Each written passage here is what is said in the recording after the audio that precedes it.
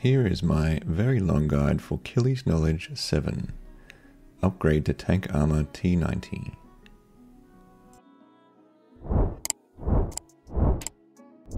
Kili's Knowledge 7 is an achievement that requires the player to learn how to upgrade their Death Skull and Deathwarden equipment to Tier 90.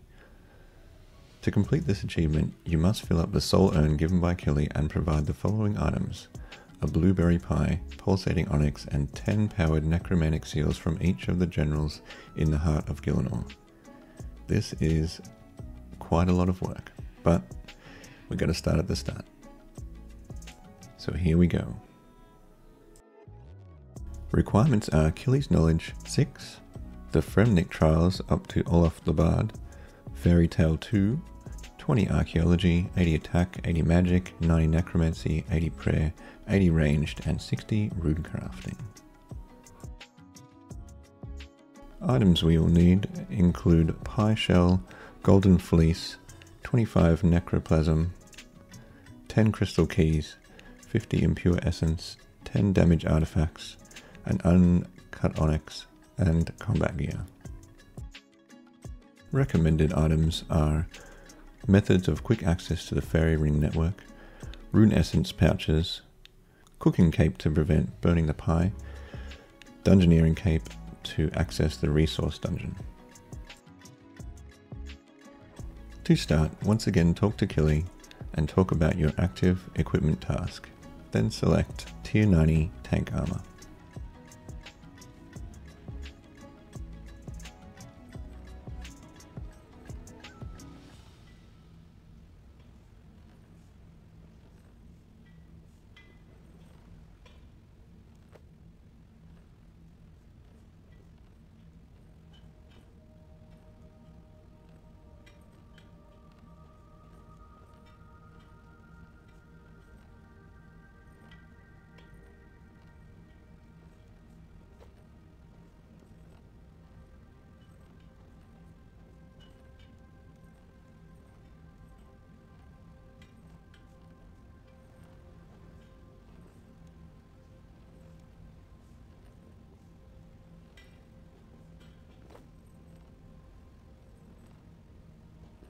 You can do these in any order, but we will start with making blueberry pie. First talk to Lupe in her shop, Soul Supplies, the general store of City of Arm, and ask about blueberries.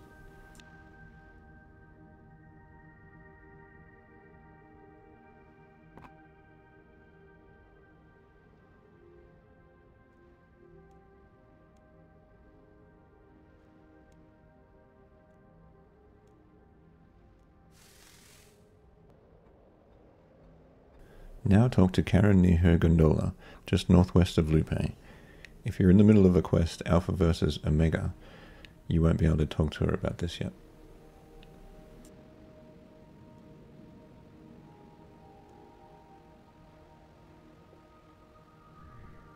Go back and talk to Kili and ask about blueberries, Evil Bob, and ScapeRune.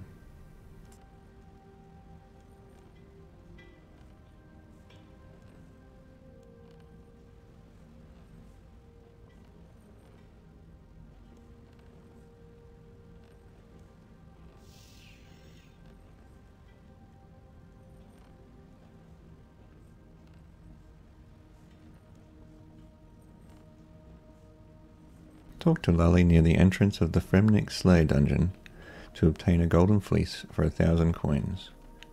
If Lalli does not want to sell you one, it either means you haven't started the Fremennik trials, or you've finished that section of the quest.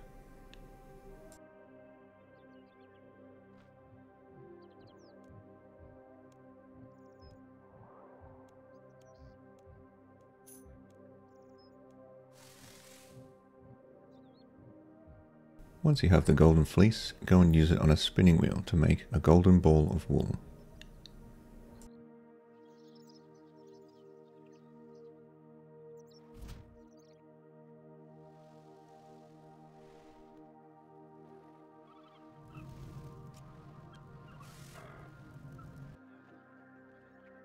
Then go and give it to Evil Bob in ScapeRune, Fairy Ring CIS, in exchange for blueberries.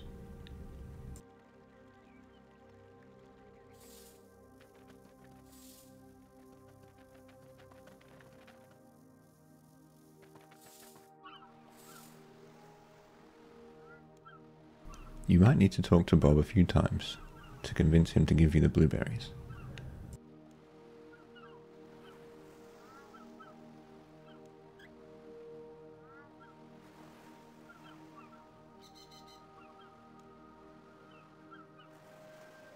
Now that you have the blueberries, add them to a pie shell and cook the uncooked blueberry pie on a cooking range.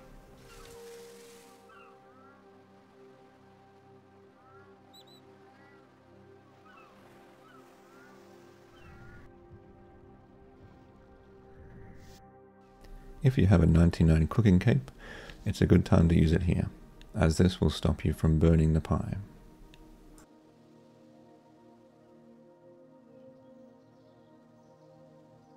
Now you have the pie, make sure you don't eat it and put it in the bank.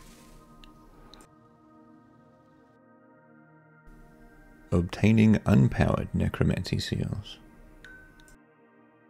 Items needed combat gear of necromancy, 25 greater necroplasm, and 4 backpack spaces. Bring your best necromancy combat gear as well. If you've never been to God Wars Dungeon 2 before, you'll need to head to the heart of Gielinor. You may need to get there by travelling to Nardah Fairy Ring DLQ, then walk south and a little west.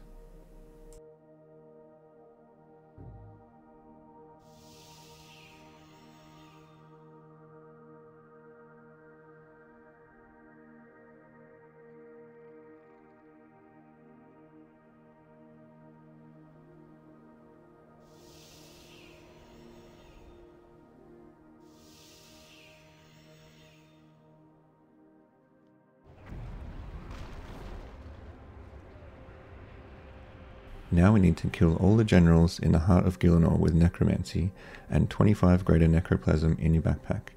You need to kill them between 5 and 10 times to obtain 10 of each of the unpowered necromancy seals. They usually drop 1 or 2.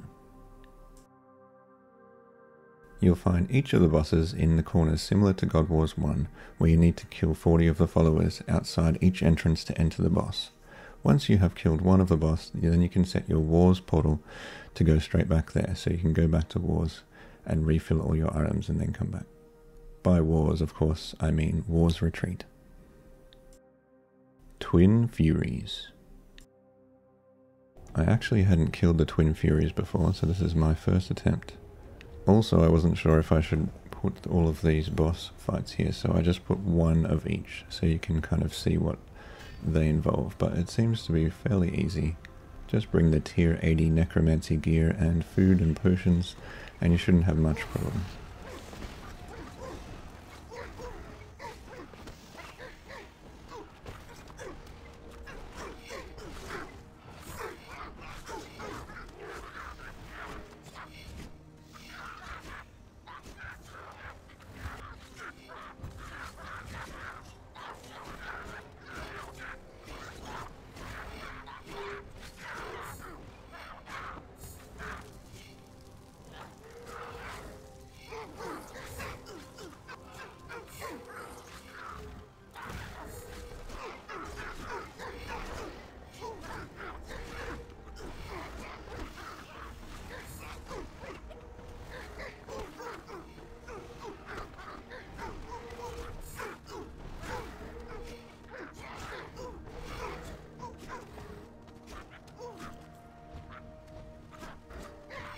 Now go back to Wars Retreat and attune your portal to Twin Furies, and then come back and repeat until you have 10 seals.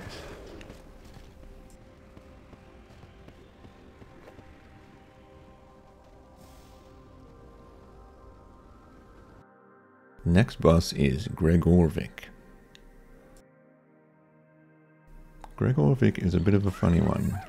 I didn't actually look up any of their mechanics, I kind of just moved around and uh, healed quite a lot. So this is in no means a definitive guide to this boss, but it still seemed to work for me. So.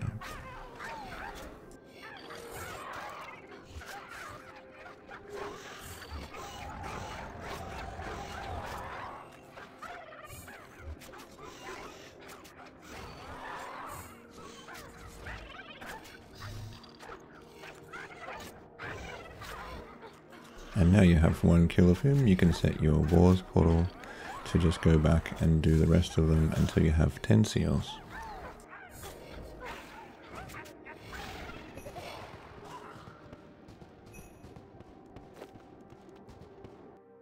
Vindicta and Gorvek. With this one, just try and avoid the fire.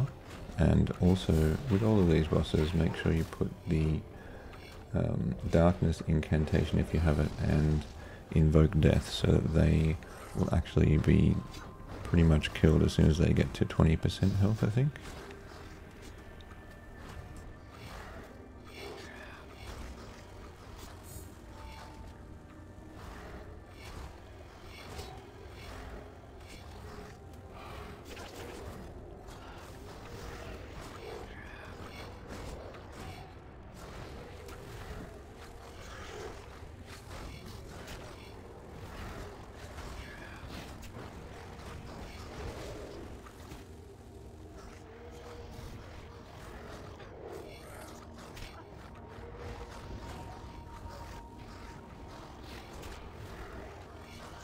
And again, set your wars portal to this boss, and then repeat until you have 10 seals.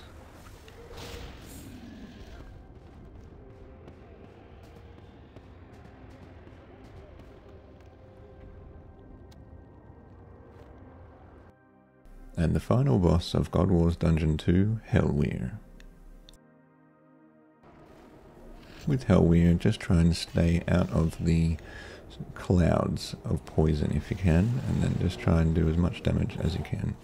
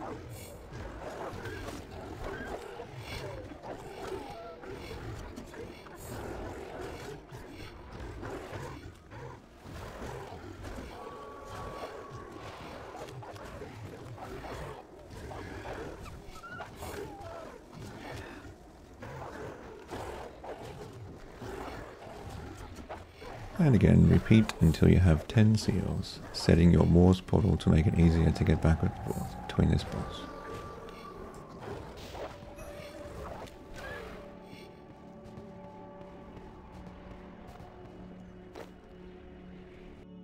Powering the seals. For the Sweer seals, are they Sweer? I don't know. Open 10 crystal chests in Taverley or Iorwerth to power the 10 necromantic seals of Seaware. Uh, bring your 10 crystal keys and seals. I chose to go to Taverley because it's a bit easier.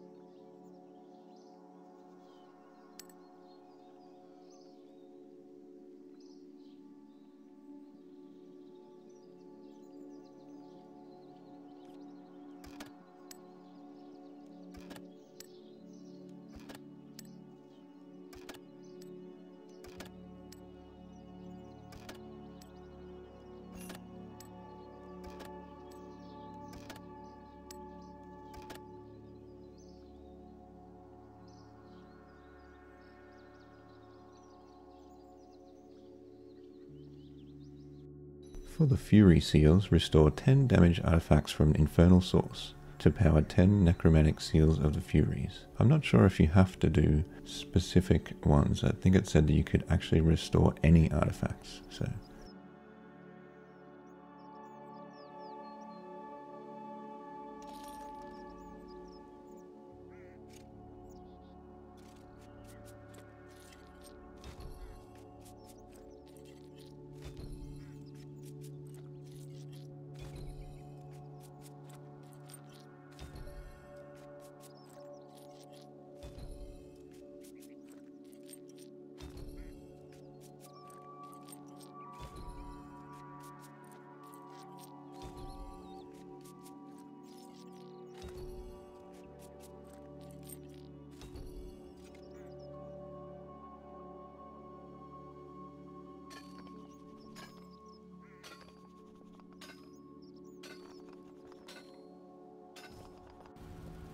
Faceless Seals. Craft 50 Miasma runes while having 50 or more Impure Essence in your backpack, including rune crafting pouches, to power the 10 Necromantic Seals of the Faceless.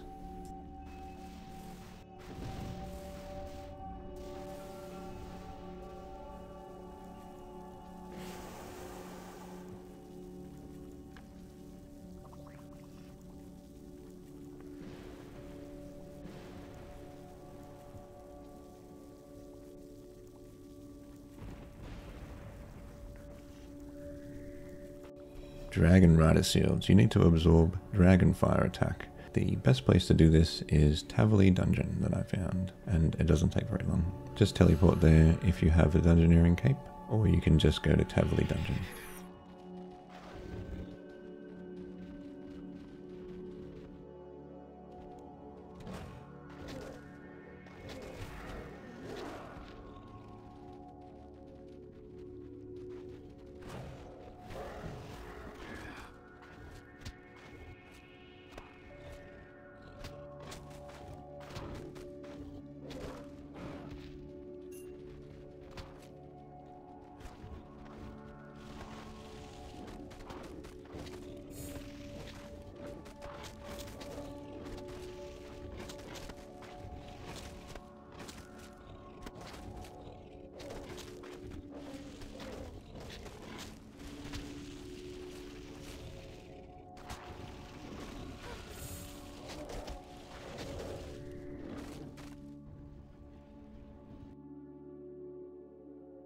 Obtaining a pulsating onyx.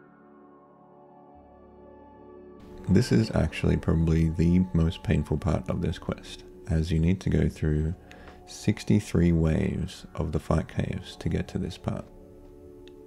Also make sure you bring your inner necromantic crystal for this, otherwise it won't get powered.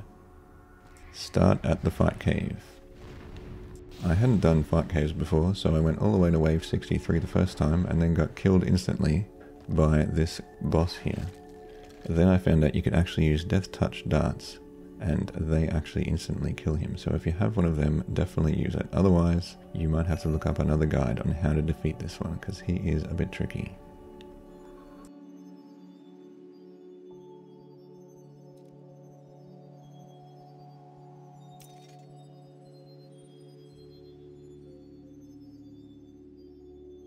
And the last item to do is fill the soul urn. So if you have a soul reaper task, just complete that. Or if you prefer, you can do 50 powerful rituals, which may take quite a long time.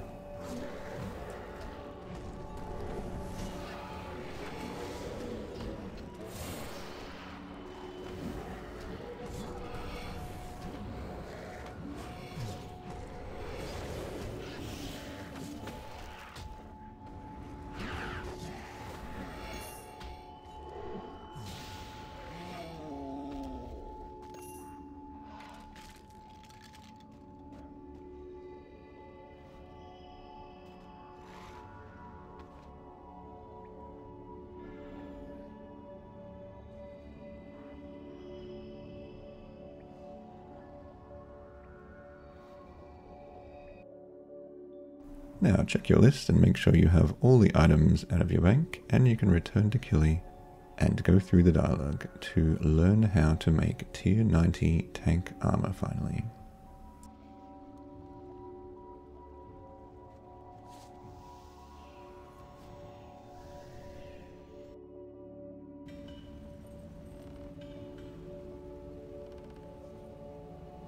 This one was actually so epic that I did contemplate not creating a video as it is so involved, but we have made it to the end.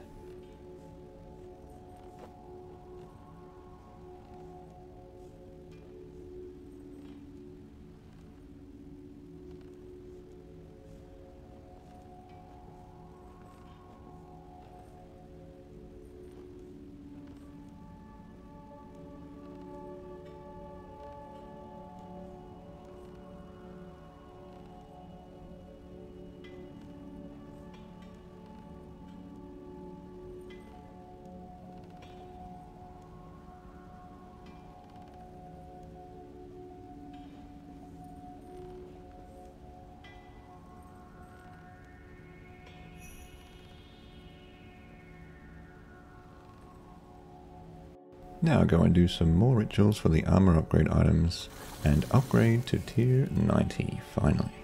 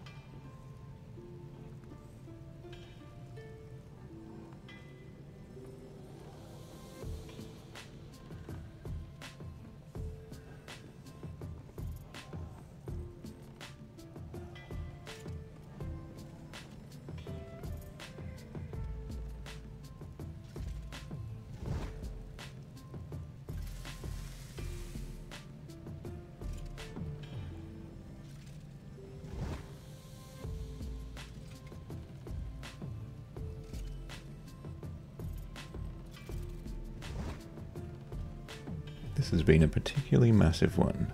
I hope this helped you out a bit, and thanks for watching. If you did like this video, it did take me quite some time, so if you do like it, please like and subscribe.